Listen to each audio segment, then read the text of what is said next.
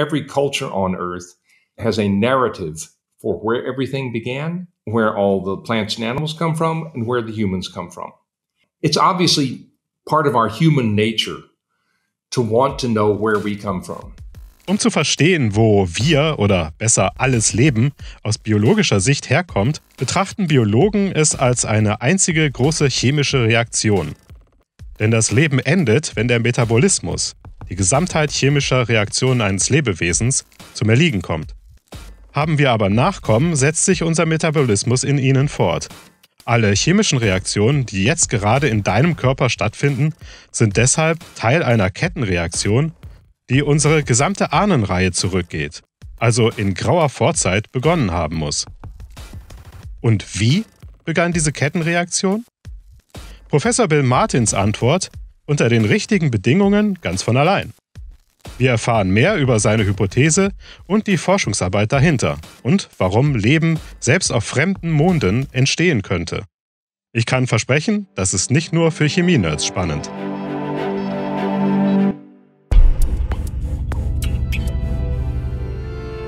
Willkommen zu Expedition in die Forschung. Wir erzählen euch gemeinsam mit den Forschenden von aktuellen Forschungsergebnissen und was dahinter steckt.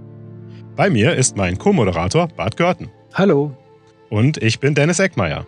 Wir haben beide gemeinsam Biologie studiert und in Neurobiologie promoviert. Bart ist Postdoc an der Uni Göttingen und ich bin Wissenschaftskommunikator. Ich bin übrigens nicht mehr lange Postdoc an der Uni Göttingen.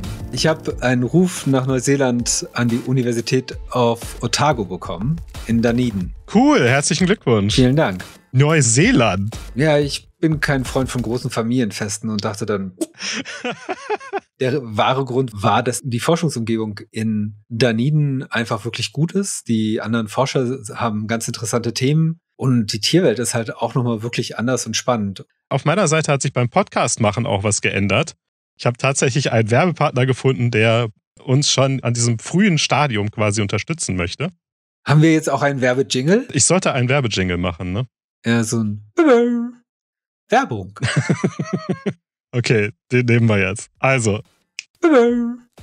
Werbung. Falls du einen Podcast oder Videos produzierst, fragst du dich vielleicht, wie wir störungsfreie Remote-Aufnahmen hinbekommen, selbst wenn, wie neulich, der Gast auf einem entlegenen Atoll im Westindischen Ozean sitzt. Oder in Neuseeland, schätze ich dann. Früher habe ich mit Skype aufgenommen. Videokonferenzprogramme regeln aber die Qualität runter, um bei schwankender Verbindung den Stream aufrecht zu erhalten. So entstehen die Störungen, die wir alle kennen. Das kann man vermeiden, indem man den Gast vor Ort aufnimmt. Zum Glück gibt es dafür Lösungen, die genauso einfach funktionieren wie Videokonferenzprogramme. Während wir im Live-Videogespräch sind, nimmt die Software uns jeweils lokal auf und verschickt die Daten dann an meinen Cloud Space. Es gibt dafür verschiedene Anbieter. Wir benutzen Zencaster, um Audio und Video von bis zu sechs Gästen in hoher Qualität aufzunehmen. In den Show Notes findest du einen Link zu Zencaster mit 30% Rabatt für den Profiplan und wir bekommen eine bescheidene Provision. Probier's aus und lass mich wissen, wie es klappt. Bye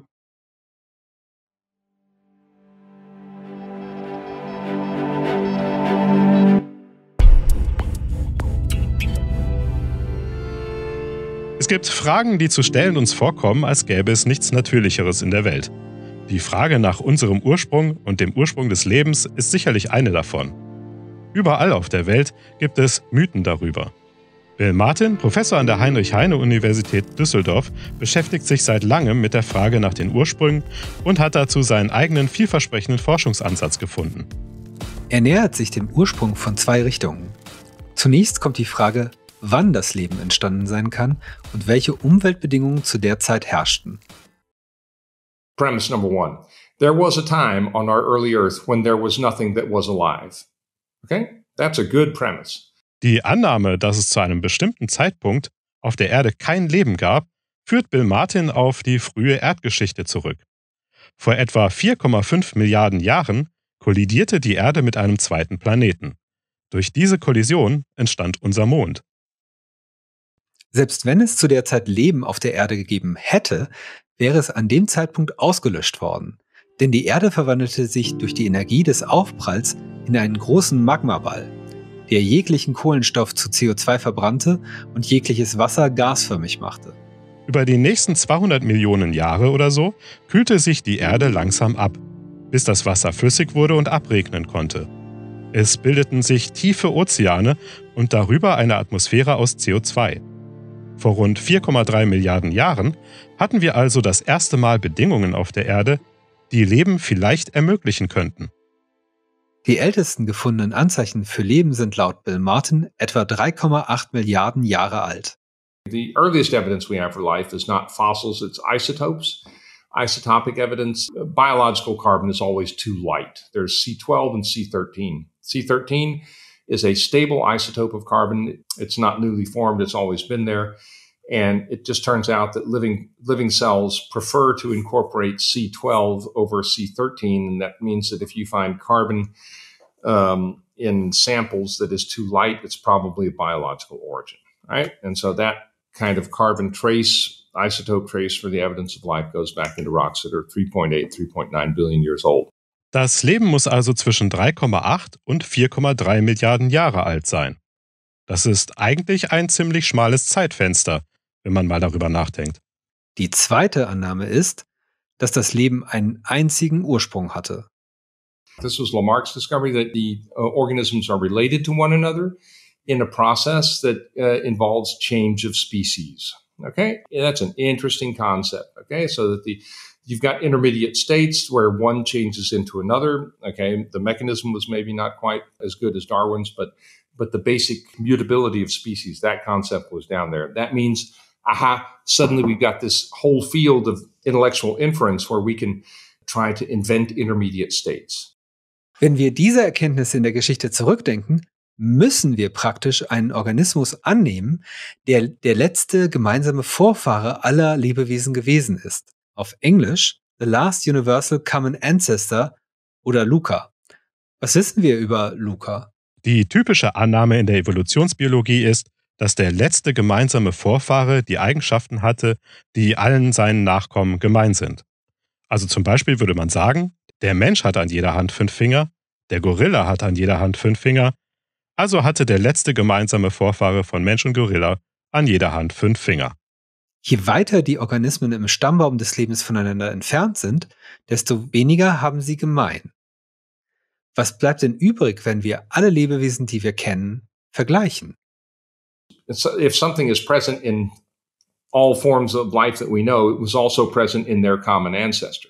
So therefore we can say Luca had the genetic code, it had ribosomes, it was also able to transduce energy somehow, but the uh, the ways in which cells transduce energy are not so well conserved in Luca. All we can say is that it had a, a, very interesting protein that was able to harness ion gradients and turn those into ATP. Luca hatte also ein Erbgut, Ribosomen, das sind Proteine, mit denen die Zelle mehr Protein herstellen kann, und ein bestimmtes Protein, das ATP herstellen kann. ATP ist so eine Art universeller Energieträger in der Zelle mit dem die chemischen Reaktionen angetrieben werden. In Zellen mit einem Zellkern wird ATP übrigens in den Mitochondrien gemacht, den Kraftwerken der Zelle. Darüber hinaus wird das Bild undeutlich. Das heißt, bei allen anderen Bestandteilen der Zelle hat die Evolution seitdem Veränderungen zugelassen. Wie können wir das Bild vervollständigen? Die Anwesenheit von DNA, Ribosomen und dem ATP erzeugenden Protein sagt uns schon einmal, dass Luca Energie bereitstellen konnte und damit Ribosomen arbeiten können, muss es Aminosäuren und RNA geben. Insgesamt braucht eine lebende Zelle 20 bestimmte Aminosäuren, die fünf Nukleinbasen, aus denen RNA und DNA bestehen, und 18 sogenannte Kofaktoren, das sind Helfermoleküle für bestimmte Reaktionen. Woher kommen die? Die Frage haben sich Bill Martin und seine Arbeitsgruppe und KooperationspartnerInnen gestellt. Dabei ging seine Karriere anfangs in eine ganz andere Richtung. Nach der Schule arbeitete er zunächst als Schreiner. Dann entschied er sich 1978 zu seinem Studium. I originally come from Texas and back in 1978 I went to Texas A&M. Das A&M in Texas A&M University steht dabei für Agriculture and Mechanics. Die Uni ist rund 100 Kilometer landeinwärts von Houston, das an der Golfküste von Texas liegt. I went to uh, Texas A&M with the goal of owning my own nursery. A nursery is a place where you buy and sell plants. So I went to Texas A&M to study plant biology. And uh, little did I know, if you want to have a nursery, you don't study plant biology, you study business.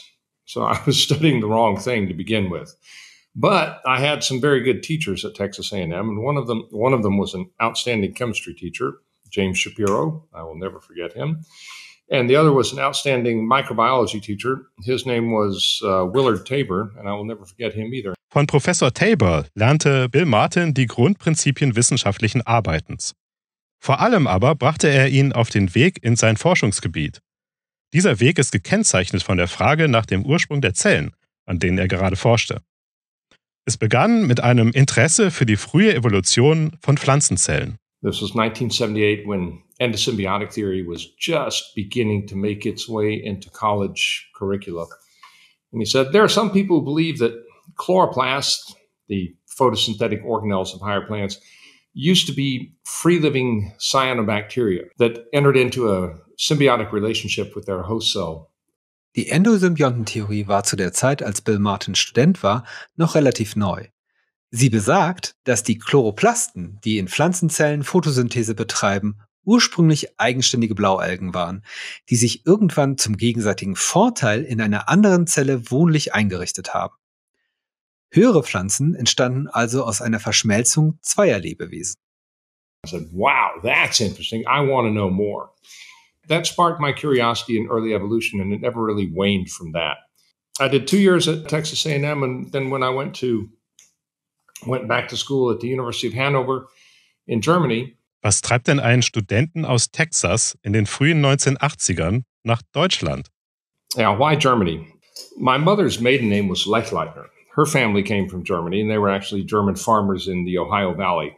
And uh, I had three years of German in high school, and so call it Germanophilic background. And so when I decided to take up my studies. I said, well, well this sounds interesting. Let's do, let's go uh, resume biology, but let's do it in a different country so that in addition to the uh, biology curriculum, you also learn a different language. Was ich denn getan habe, aber uh, I still prefer to speak English if I have my druthers.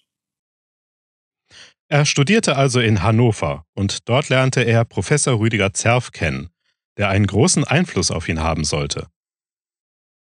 He was also very, very interested in molecular biology, very, very interested in the evolution of chloroplasts, and very, very well versed in erkenntnistheory, uh, the philosophy of science, how we know things and what, what we know and what we don't know.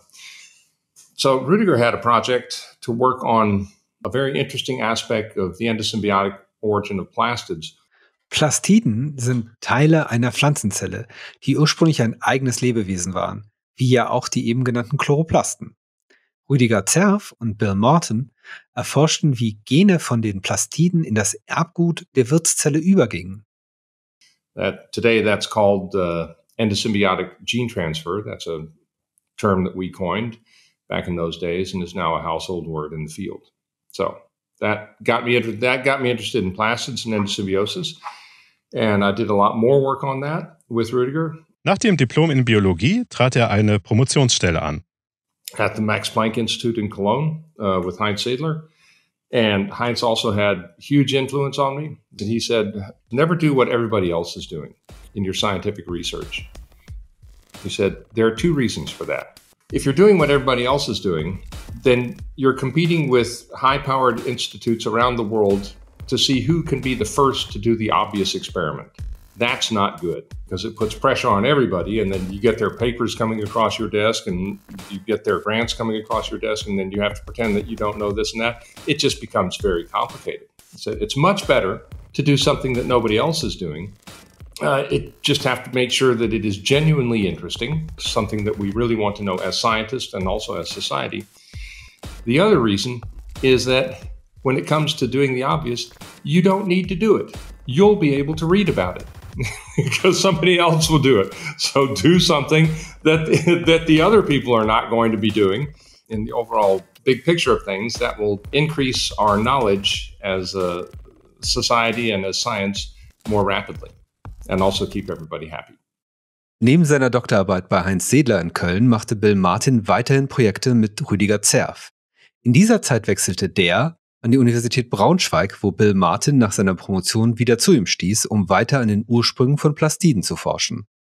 I started to get interested in the next step down, right? You go from the origin of plastids, then you get the question, okay, the origin, the, the host that acquired the plastid was a eukaryotic cell that had the mitochondrion. Okay, well, I got very interested in the origin of mitochondria. Bei der Erforschung der Ursprünge von Mitochondrien konzentrierte er sich auf eine ganz spezielle Sorte, Hydrogenosomen. Hydrogenosomes, we know today, are anaerobic forms of mitochondria. They are present in all the eukaryotic anaerobes that don't have standard mitochondria. Weil Hydrogenosomen ohne Sauerstoff auskommen, kommen sie natürlich in den Mikroben vor, die da leben, wo es keinen Sauerstoff gibt. Das ist besonders interessant, weil es zur Zeit der Entstehung des Lebens keinen freien Sauerstoff auf der Erde gab. Aller Sauerstoff war in CO2, Wasser und in anderen Stoffen gebunden. Diese Mitochondrien heißen Hydrogenosomen, weil sie H2, also molekularen Wasserstoff, herstellen.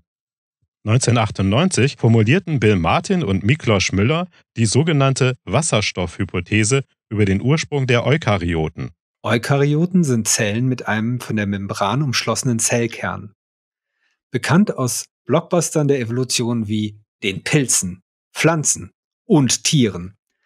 Wir gehören also auch dazu. Uh, Miklos and I had some ideas of where those hydrogenosomes might come from. Maybe they are actually just a different specialization of the a generalist ancestor of the origin of mitochondria. And that led us to a paper called the hydrogen hypothesis. Heutzutage fungieren Mitochondrien als Kraftwerke der Zellen. Deshalb nahmen frühere Hypothesen über die Evolution von Mitochondrien an, dass der Symbiont vor der Verschmelzung Energie im Überschuss in ATP speicherte und an die Umwelt abgegeben habe, während der Wirt nicht genug davon hatte, sagt Bill Martin. Das macht aber biologisch keinen Sinn. Bill Martin und Miklos Müller vermuteten deshalb, dass das ATP am Anfang noch keine Rolle spielte. Das kam erst später. Eine Symbiose machte einfach mehr Sinn, wenn ein Abfallprodukt des Symbionten für den Wirt von Nutzen gewesen ist. Sie schlugen darum vor, dass die ersten Mitochondrien Bakterien waren, die Wasserstoff als Abfallprodukt herstellten. Der Wirt wäre ein sogenanntes Archaebakterium gewesen, das Wasserstoff atmet wie wir Sauerstoff. Mit dem Mitochondrium-Vorfahren an Bord konnte so ein Archaebakterium dann Gebiete besiedeln, in denen sonst kein Wasserstoff existiert. So wie wir eine Sauerstoffflasche zum Tauchen mitnehmen. Nur krasser. Sie führen noch ein paar weitere Gründe an, die würden den Rahmen dieser Folge aber sprengen. That idea seemed crazy at the time, but now it's in textbooks. Okay, because what we see when we look around today, the, the standard endosymbiotic theory that had a, a mitochondrion lacking eukaryotic cell, that's none of the predictions of that theory have, have, turned out. All the predictions of the hydrogen hypothesis have been borne out by uh, later experiments. Und wieder ging Bill Martin noch einen Schritt weiter in die Vergangenheit. But then if you're talking about the origin of bacteria to become the mitochondrion and archaea to become the host to give rise to eukaryotes, well, go back one step further you're at the origin of archaea and bacteria, and that's the origin of life. Seit den frühen 1980er Jahren erforschte Bill Martin mit seinen jeweiligen Mentoren die frühe Evolution von eukaryotischen Zellen, also Zellen, die einen Zellkern besitzen, aber auch Plastide und Mitochondrien. 1998 formulierte er gemeinsam mit Miklos Müller die Wasserstoffhypothese, einen Erklärungsversuch für die Entstehung der eukaryotischen Zelle. Die Idee, wasserstoffherstellende Bakterien wurden als Symbionten von anaeroben Archaea als Wirtszellen aufgenommen, die deren Abfallprodukt Wasserstoff, Kohlendioxid und Acetat zum Überleben gut gebrauchen konnten. Im Gegenzug musste die Wirtszelle den Symbionten nur mit organischen Verbindungen füttern.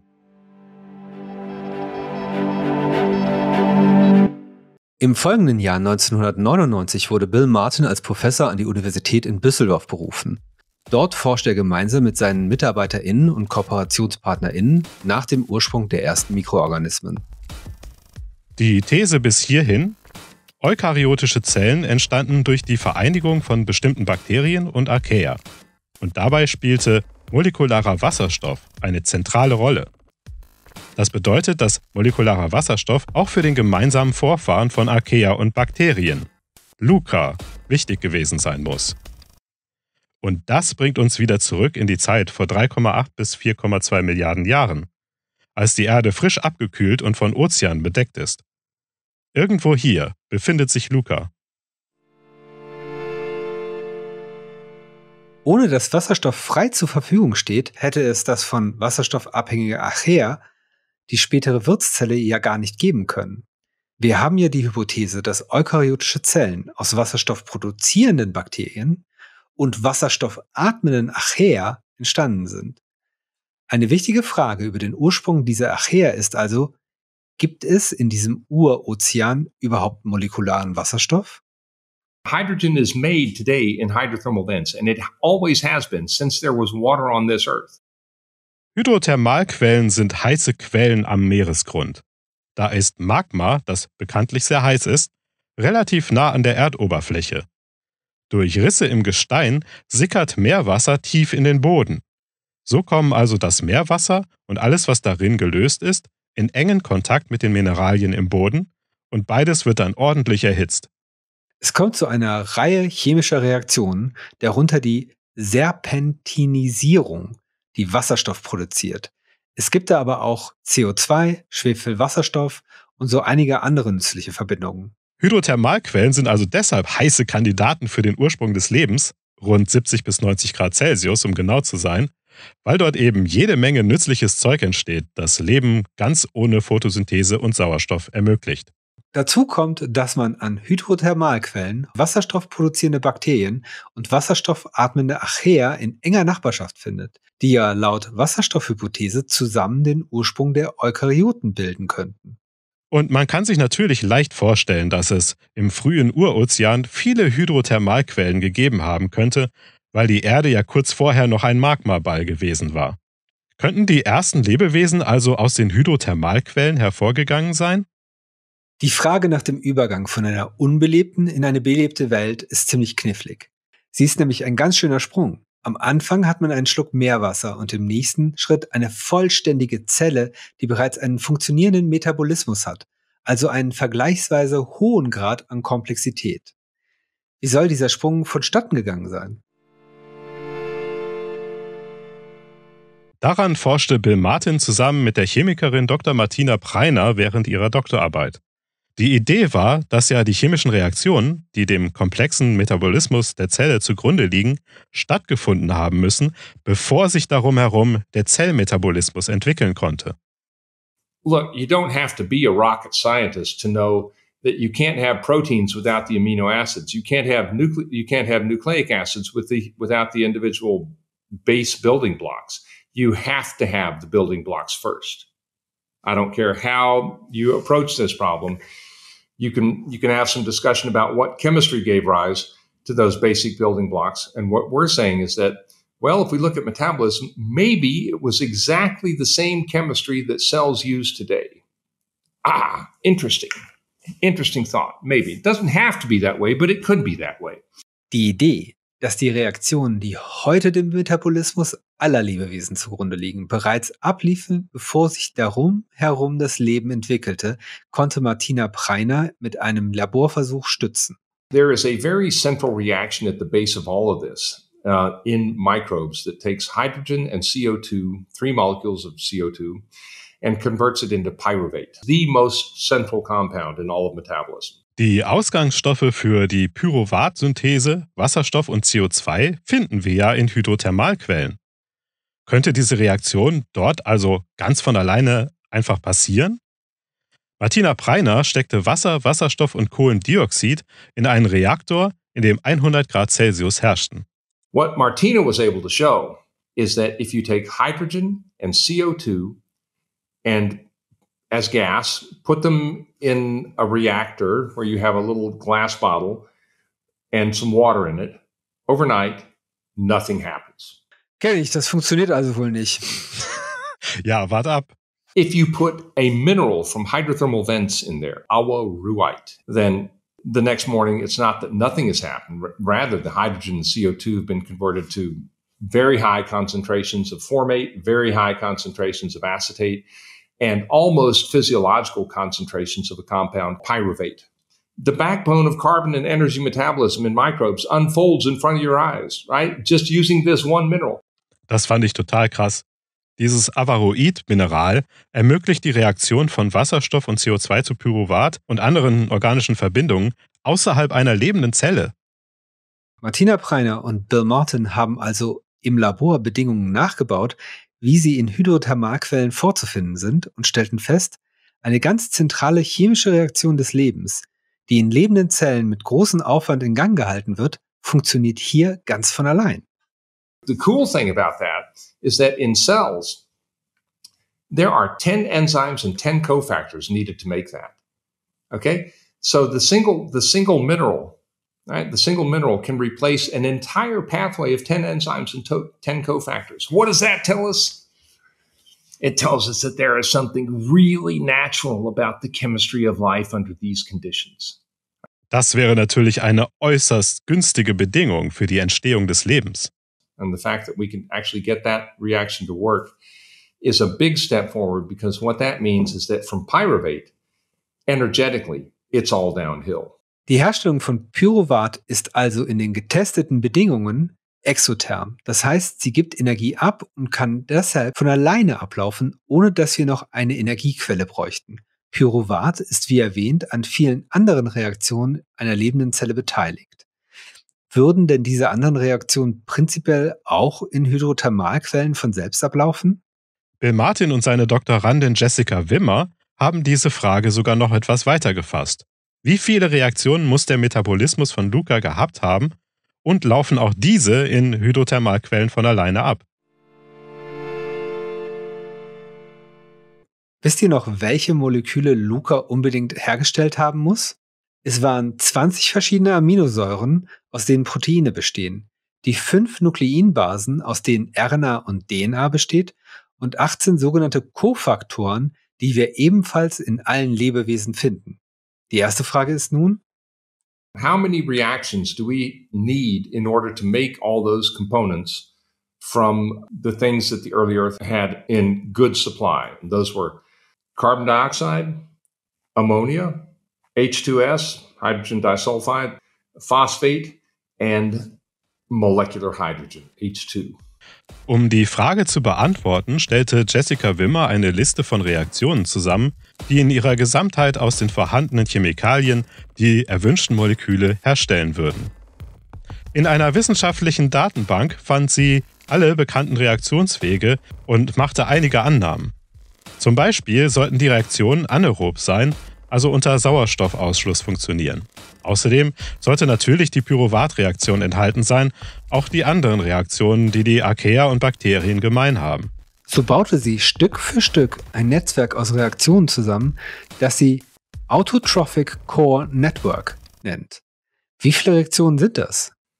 It's not 2000, it's not 1500, it's also not 1000, it's also not 500, it's 402, which we will round in the following to 400. It's 400 reactions. That's completely finite. Right, 400. You can okay. There you go. You can put you can print them out on a couple of pages and just go down the list. It's 400. That's not that much. We said, oh well, that's interesting. Auch interessant, wenn man sich anschaut, welche Enzyme in Archaea und Bakterien an den Reaktionen beteiligt sind, dann sind das nicht unbedingt dieselben. Diese Feststellung ist wichtig für Bill Martins Idee, dass die Reaktionen, die den Kern des Metabolismus allen Lebens ausmachen, älter sind als die Enzyme der ersten Lebewesen. These 400 chemical reactions are very strictly conserved across all cells. Okay, it's the same chemistry going on in, in, in all forms of life. The enzymes that catalyze these reactions are very different in different groups. There's been a lot of evolution that's gone on in the origin of the enzymes themselves, independent origins, addition of oxygen dependent reactions and stuff that did not exist at the origin of life. Okay, because there was no oxygen on the early Earth. Oxygen comes from cyanobacteria and photosynthesis. That came two billion years later. At, the, at origins, it's all anaerobic. There's been a lot of variation in the enzymes. Okay, but the chemical reactions are conserved. Die chemischen Reaktionen sind also dieselben in allen Lebewesen. Unterschiedliche Lebewesen haben unterschiedliche Wege gefunden, diese Reaktionen am Laufen zu halten. Die nächste Frage, können all diese Reaktionen in Hydrothermalquellen von allein ablaufen, wie die Pyruvatsynthese, oder brauchen sie irgendeine zusätzliche Energiequelle? Do reactants in a reaction of A plus B gives you C plus D. Does the reaction go forward or not? What do you mean by go forward? Go forward means that A and B react, to become C and D. That happens all the time in every reaction in metabolism. All the words that I'm speaking, the breaths that I'm taking, they are all the, the result of energy that's being conserved in my mitochondria.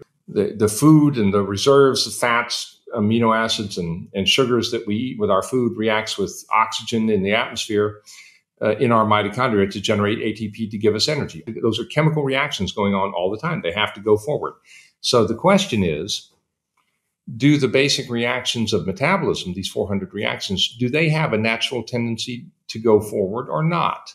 Okay, will they go by themselves or do we have to postulate some additional magical form of energy um, that might have helped push them forward?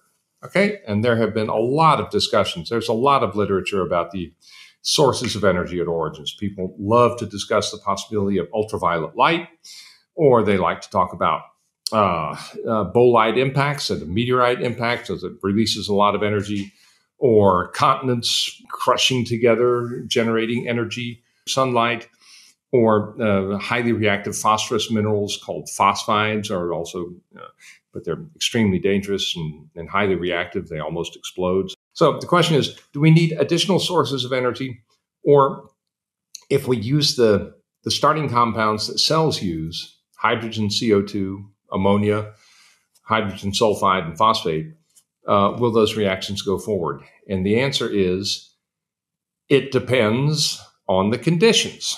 Okay, so if you take very acid conditions, about half of them go forward. If you take uh, conditions that are extremely hot, about half half of them go forward.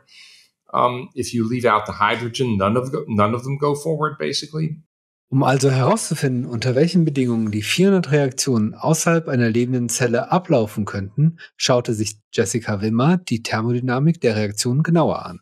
She did great work, PhD student, just fantastic work on this. She did this in, in a very, actually, very short period of time once we knew exactly what we were after.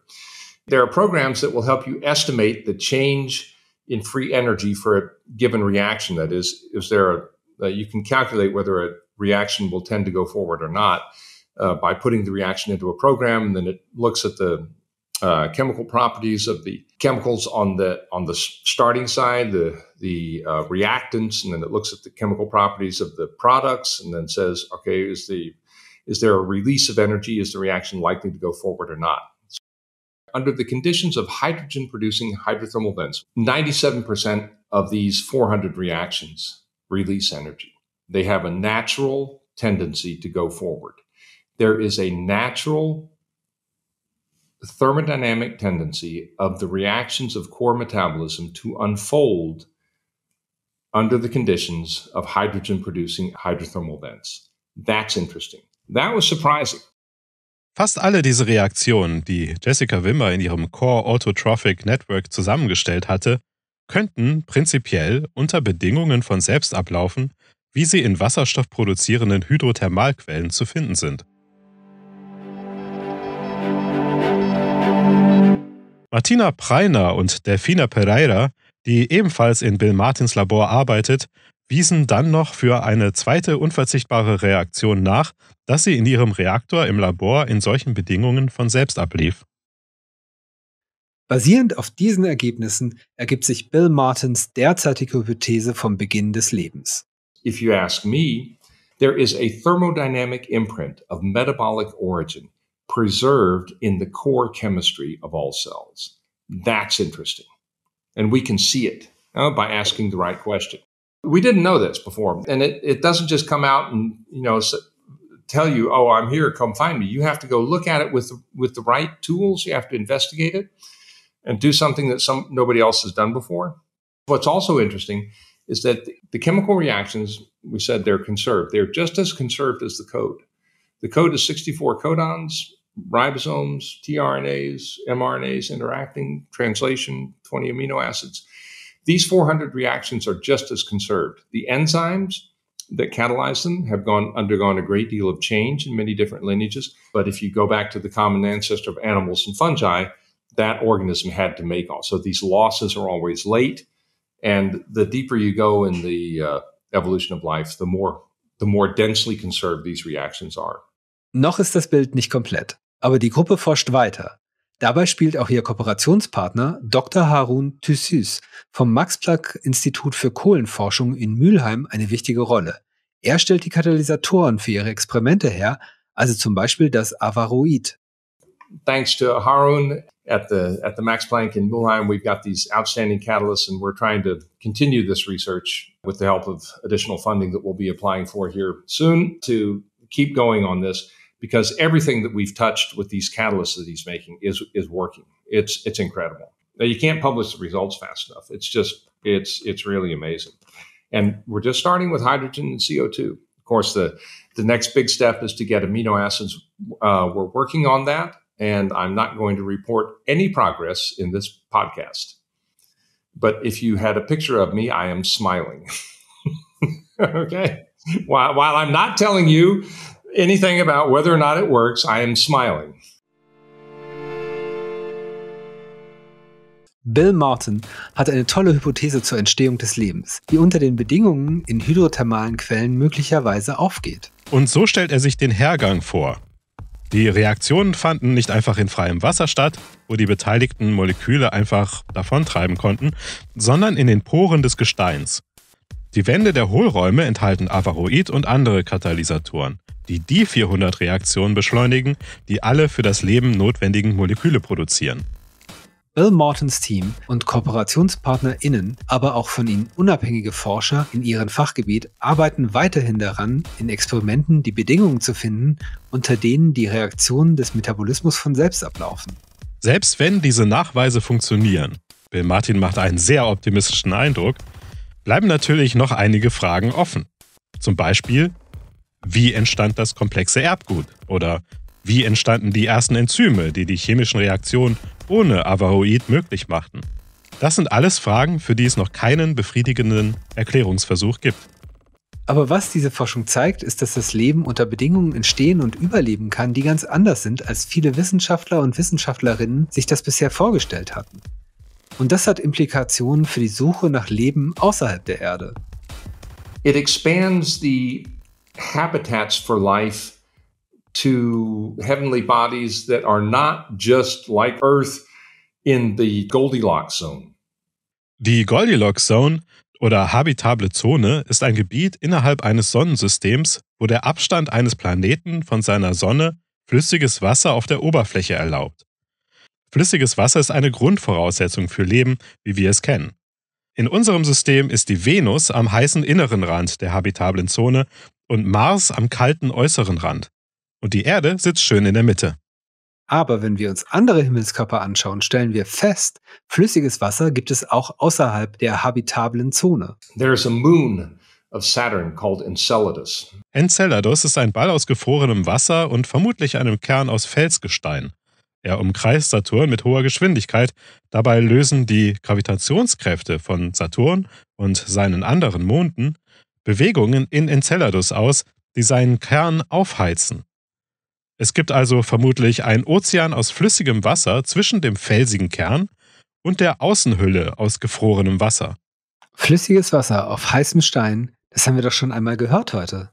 And the Cassini mission flew through geysers that it has at its south pole where it's emitting some of this water. And in that, they found molecular hydrogen, right? The molecular hydrogen is an indicator for serpentinization that is giving rise to molecular hydrogen.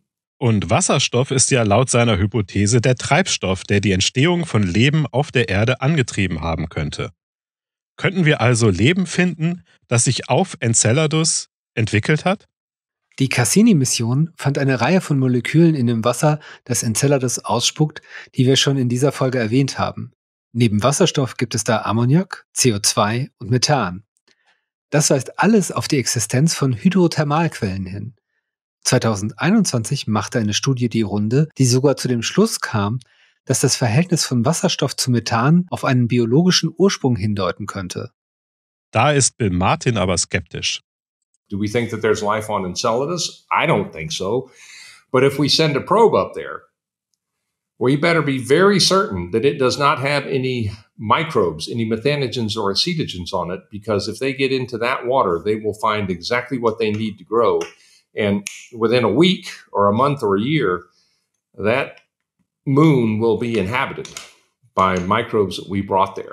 That's a real problem, right? And it's almost impossible. You cannot, microbes are so small, you cannot get rid of the last one. It's almost impossible. Die Kontamination von außerirdischen Himmelskörpern zu verhindern, ist eine Aufgabe, an der die Weltraumforschung tatsächlich auch arbeitet. Wir wollen schließlich nicht irgendwann auf außerirdisches Leben stoßen, nur um dann herauszufinden, dass wir es selbst dorthin gebracht haben.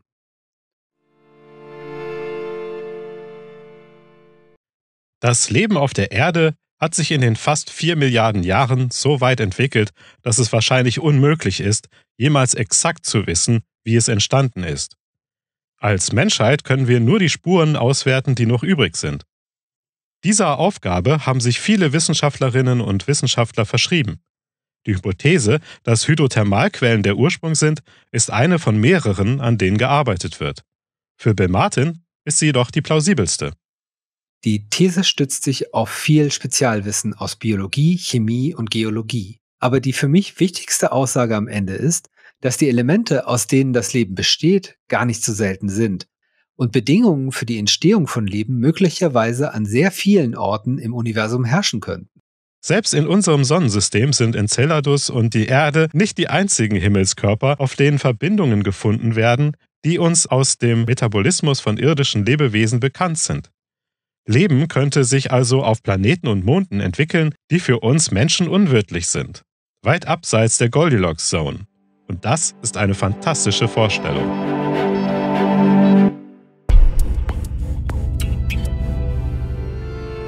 Mich haben vor allen Dingen diese 400 total fasziniert. Also 400 essentielle Reaktionen zu finden und dann herauszufinden, dass die alle dort exotherm ablaufen können, ist schon ein überragendes Ergebnis. Das ist sozusagen wie das kleinstmögliche Leben in so ein Reagenzglas zu bringen und zu sagen, das ist die Wiege allen Lebens auf diesem Planeten. Ja, Bedingungen zu finden, wo die ablaufen, ohne eine Zelle drumherum. Das ist, was ich so, so cool fand eigentlich. Ja.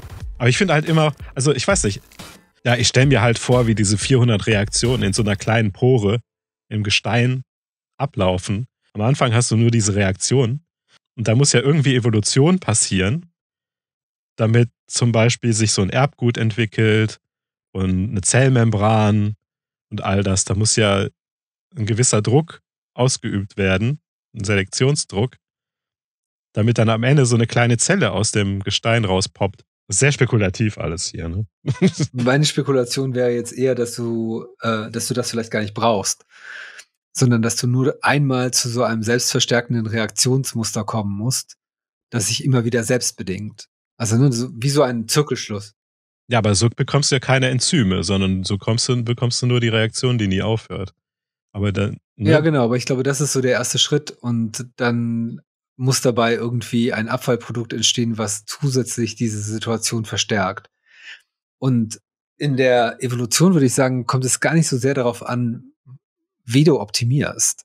Du optimierst ja nicht, ne? Du, du machst ja nur Möglichkeiten und die Natur sagt dir dann, okay, das hat funktioniert oder nicht. Nein, das, was ich meine, ist, der Prozess der Evolution ist ein reiner Optimierungsprozess. Also aber im mathematischen Sinne. Nicht, dass da etwas Optimales herauskommt, sondern einfach nur durch Trial und Error wird einfach stetig weiter verbessert. Und solange du mhm. einen durchgehend ablaufenden Prozess hast, der sozusagen so Zirkelschluss macht, bekommst du erst die zeitliche Kontinuität, um Trial and Error zu machen. Und ich glaube, an mhm. dem Punkt ist Bill Martins Forschung. Ja diesen Punkt aufzusetzen, an dem du zeitliche Kontinuität durch den immer wieder ablaufenden gleichen Prozess von 400 Reaktionen hast. Und dann kann erst Evolution wirklich starten. Ja, genau, genau. Das ist halt so der Punkt, den ich halt total krass finde. Ne? Ich weiß nicht, ob du dich noch an dieses Seminar, was wir vor ungefähr 100 Jahren an der Universität Köln gehört haben, Artificial Life erinnerst. Das ist höchstens 20 Jahre her, Bart. Ich fürchte nein. ähm, da gab es dieses, dieses eine künstliche Lebenprogramm, was sozusagen nur aus einem Lesekopf bestand und Genen, was unglaublich schnell diese Optimierungs Verfahren durchlief und ganz schnell sozusagen zu eigenen Lebewesen geworden ist, künstlichen Lebewesen, aber dann auch zu Parasiten und Hyperparasiten. Ah. Und da war mir zum ersten Mal klar, dass das Einzige, was du brauchst, diese zeitliche Kontinuität mhm. ist. Und ob, egal ob du jetzt Proteine, Reaktionen oder in diesem Fall Bits und Bytes ähm, durch so einen Evolutionsprozess steckst, du kommst immer wieder zu ähnlichen Lösungen, weil das einfach die mathematisch optimalen Lösungen sind. Ah. Ja, ich erinnere mich an die Story, aber ich kann mich nicht mehr an dieses Seminar erinnern. Das ist der Unterschied zwischen uns beiden. Mich hat die Mathe schon immer ganz doll gepackt und ich kann mich sehr gut an dieses Seminar erinnern. War eigentlich mein Lieblingsseminar. Wir bedanken uns ganz herzlich bei Professor Dr. Bill Martin von der Heinrich-Heine-Universität in Düsseldorf für das Gespräch über seine Arbeit. Leider konnten wir nicht alle beteiligten Mitarbeiterinnen und Mitarbeiter in dieser Folge unterbringen, die er in unserem Gespräch lobend erwähnt hat. Die an den im Hauptteil beschriebenen Studien beteiligten ForscherInnen arbeiten an dem Institut für molekulare Evolution und dem Institut für physikalische Chemie der Heinrich-Heine-Universität in Düsseldorf, dem Max-Planck-Institut für Kohlenforschung in Mülheim an der Ruhr dem Department of Functional and Evolutionary Ecology der Universität Wien, dem Bioproduction Research Institute am National Institute of Advanced Industrial Science and Technology Sapporo, Japan, der Universität von Straßburg, Frankreich, der Charité Universitätsmedizin in Berlin und dem National Institute of Advanced Industrial Science and Technology zu Kuba, Japan.